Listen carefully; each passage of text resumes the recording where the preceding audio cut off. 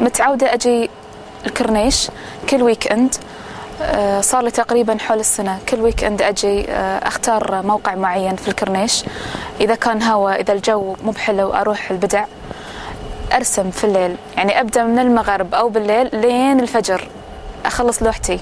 صديقاتي يرسمون معاي. نقعد من في الليل لين الفجر.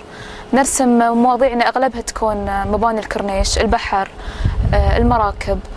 آه، فانظري أن أكبر الهام لنا هو مباني قطر الحضارة في قطر حتى إذا رسمنا شيء قديم نحط في يكون آه، التاتش يكون مودرن شوية.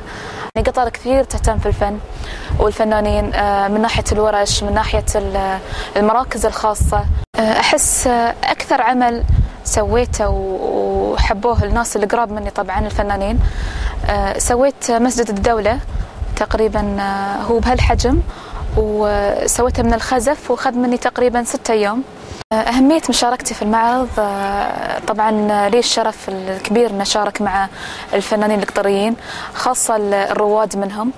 أكيد حابة أشوف أعمالهم أبي ألتقيهم خاصة خبرتهم يعني تزيد من من من طاقتنا من رسمنا. أكيد نحب نسمع آرائهم بلوحاتنا بفننا.